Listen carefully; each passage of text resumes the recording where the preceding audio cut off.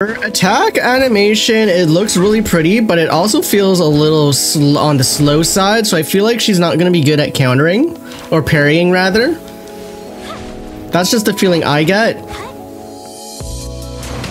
Her skill is me a little bit faster, but it feels like there's a little bit of a delay when she's like bending her uh, paintbrush kind of like to her side before she strikes.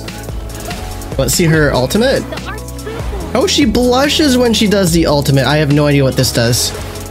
I think she is pretty decent with Jinhsi, especially with the outro skill, particularly. And then when she's off field, she still provides damage. So I think that's a pretty good sub DPS off fielder. But she will be eating a little bit more field time to do her full rotation. Unless you don't really end up needing to do that. But I feel like you do just to build up energy uh, to get her burst up. But the other thing is, is that I think she's also going to be really busted for a future Glacio main DPS character, which could potentially end up being the character coming out in 1.3 because we are getting a Glacio character in the next patch. And even despite her size, she's got that physics cranked up to the max. Holy smokes, what am I, what am I looking at? This doesn't seem right on her, I don't know. That might just be me. But yeah, those are my early thoughts on Zhezhi. I'm not actually going to be pulling for because I don't have Jinhsi. I may be pulling for the new character if she ends up being on the same banner as the character I actually want to be pulling for, which is Shorekeeper.